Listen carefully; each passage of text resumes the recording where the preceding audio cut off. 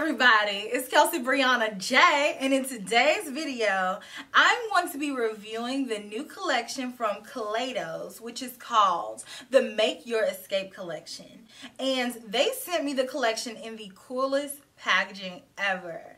And I just have to take a moment and show it to you all.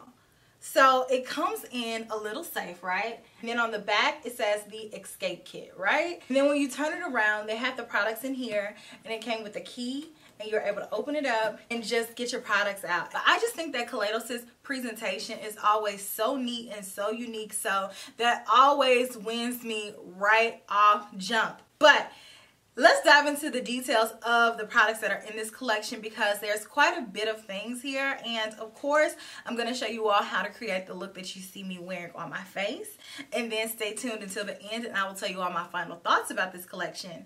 So uh, let's dive first into the highlighters. So in this launch we have four different highlighters and we have the highlighter in the color Diamond Dasher, Ray Ryder, and Mars Melter. And each one of these retails for $14 and I will go ahead and insert a swatch of these. So these are color shifting highlighters. It says that these are translucent yet highly reflective multi-chrome finish highlighters.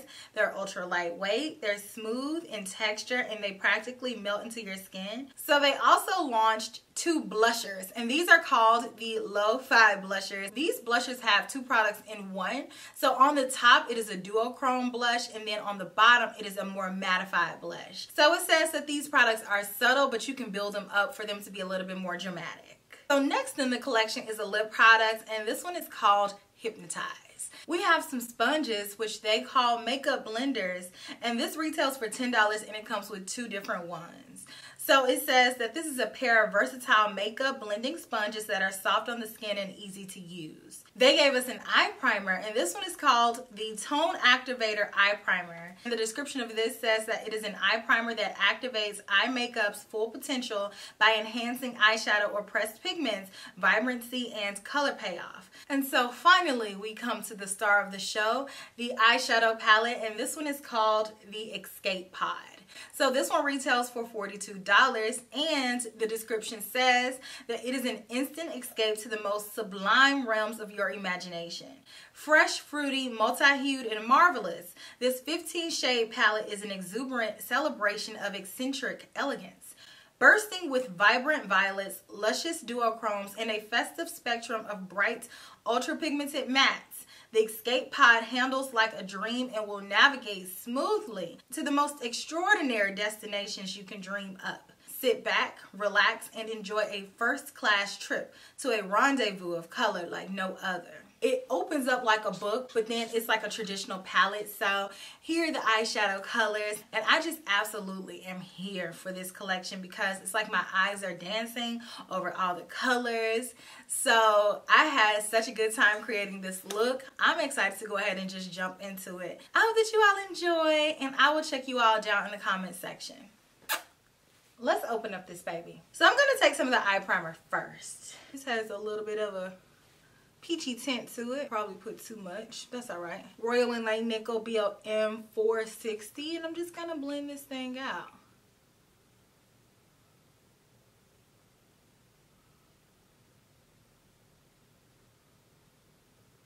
That has a really nice smooth consistency. So my eyes are prepped, so let's go in.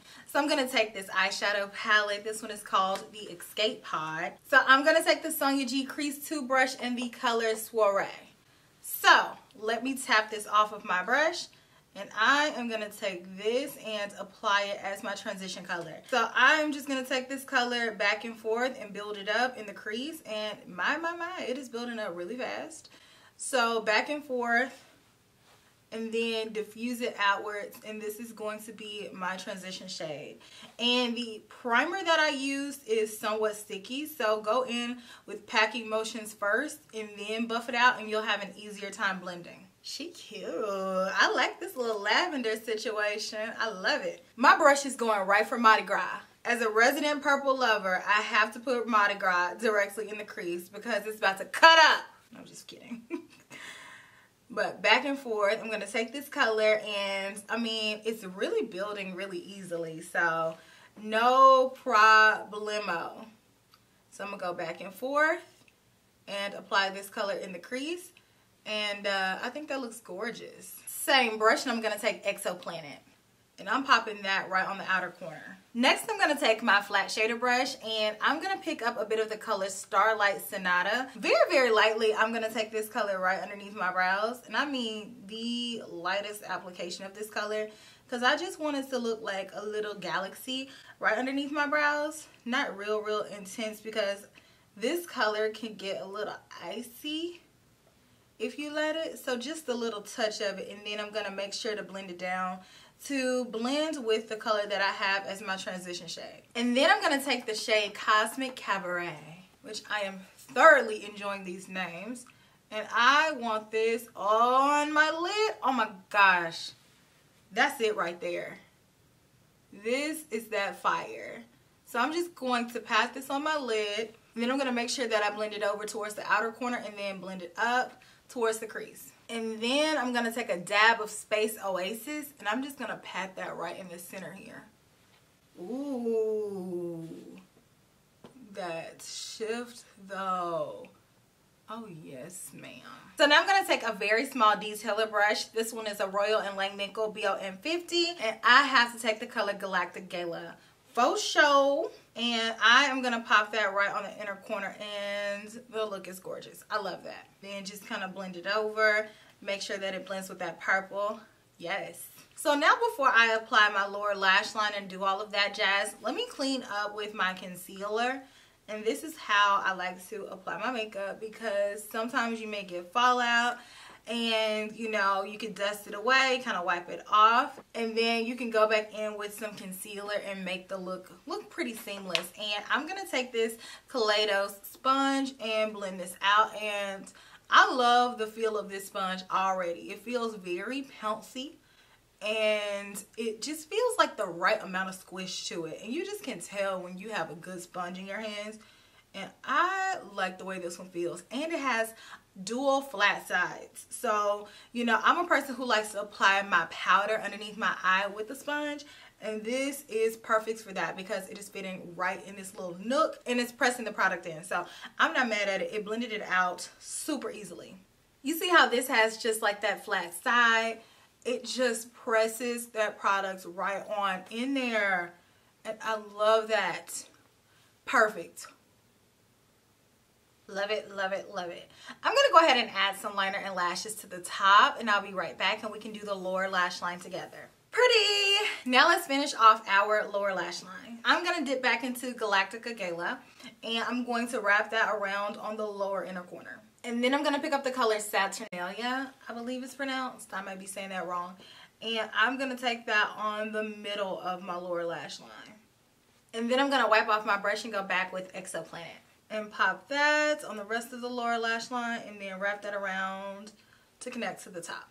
I love the way my eyes turned out. I think that they are super pretty, very galactic, very different, and I overall think that they just look like the ish. I love it. So now let's put on some cheek products. I have all the options. Let me see what I want to do. I just could do anything almost. Let's see. Diamond Dasher. Okay, I think this one will be a pretty option. Safe, but pretty. Mars Melter. Think that one is a surprise one. Yeah, it has a shift. It's like a white, pinky, goldeny type highlight. That may be the number one contender so far for highlight. But let me keep going. Let me keep going. Moon Cruiser. That's the one. That like iridescent pinky blue. That's it. This is one of the Wayne Goss, the artist brushes. It's the middle one. So I'm going to take that and then I'm just going to lightly grace this highlights upon my cheeks. So I'm just going to build it up and this brush is going to apply this product very light-handedly which is the effect that I want because this is a blue iridescent highlight. So I want it to be prominent, but I don't want it to steal the show. So I'm just going to take it right here and I'm just going to blend it, you know, kind of like it's coming out of my eye and then go around there. And then as far as blushers, because these are called Lo-Fi Duo Blushers, I have two options. So let me see which one I want to go with. I mean, I automatically am probably going to go with Lo-Fi Peach because I'm a peachy type girl. I love a good peach blush. Let me see, what's this one? Oh, Lo-Fi Rose. Hmm. I really want to go into peach, and I guess I could, but technically rose probably matches better. Let me go into rose. Okay, so I'm just to pick up a little bit of rose with, again, this artist brush by Wayne. Yeah, that's it. Really light. Make sure we're all blended here. And lastly, let's do our lips. I'm going to put on Hypnotize even though I don't think I'm going to ultimately wear it because I don't think this is going to match my look, but I just want you guys to see it. But it does match my look. Okay. Come through with the surprises. It goes on a lot more purple than I thought it was going to. It looks very plum in the container and it's more sheer. So I definitely can rock this. Okay, so I'm good. I'm done. So, yeah. And here's my finished look using the new products from the Kaleidos Make Your Escape collection. So I hope that you all enjoyed this video because I thoroughly enjoyed creating this look. I feel like this look is super futuristic. It's colors that don't traditionally go with one another. And I think that they are very fun pops of color and I just love the way everything turned out. I think the eyeshadow primer was really nice. It's a very liquidy type eyeshadow primer. So if you're a person who has oilier eyelids, I would say blot your eyelids first, put on the eyeshadow primer, and then immediately start working so it does not crease. But for me, I'm okay. You guys have seen my tutorials. I can use concealer. And I think this has a little bit more priming properties than concealer does. And it mutes out the back of your eyes. So it gives you something to work on top of. And I feel like it makes these colors really, really pop. So I like this.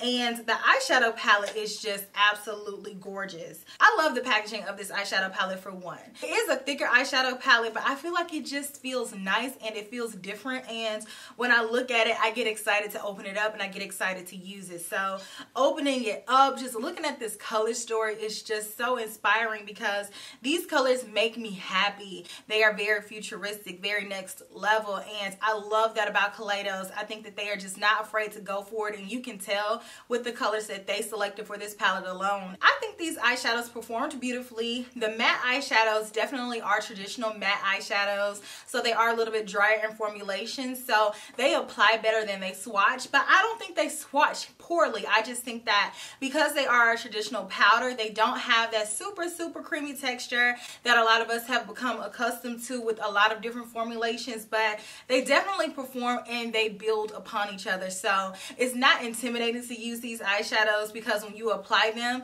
you can go in with a little bit less opacity and then build it up. And then you can get it to be how you want it to be. So these are very easy to control. But I think the star of the show definitely are the shimmer eyeshadows because these are super, super nice and these colors just complement each other so well. So I love this eyeshadow palette. I think that Kaleidos is just next level. They are just what's up next in beauty. So I know that they are about to explode because I know a lot of people already know about them. But once everybody knows about them, I mean, look at my eye look and it speaks for itself. And then as far as the highlighters, I think these are so beautiful and so iridescent. Like, can you all see that? It's subtle, but at the same time, it's very impactful because you can see that shift.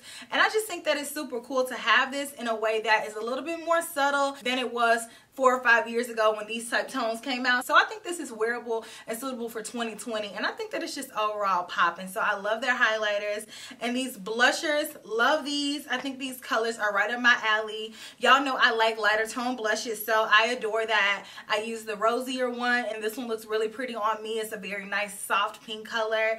And I cannot wait to tear into this peachy one because y'all know I love a light peachy blush. And then it has this really pretty, sparkly, pretty much much duochrome highlighter as well. Shifts from gold to pink. The sponge is fire. It's just the entire collection down to the presentation of the box that they sent. It just was on point. So if you all have never heard of this brand, I will have a link to their website down in my description box. Definitely check them out. And I'm just excited to see companies just really take it to the next level, try something new, step outside of the box. And I think that's what Kaleidos does. It's what they do. So I just see them coming through with more greatness and more hot fire. Let me know some of your favorite products from them. If you all have ever tried them, if you have them on your radar, let me know down in the comment section as well. And I will check you all in my very next video, which will be super, super soon. Smooches. Bye.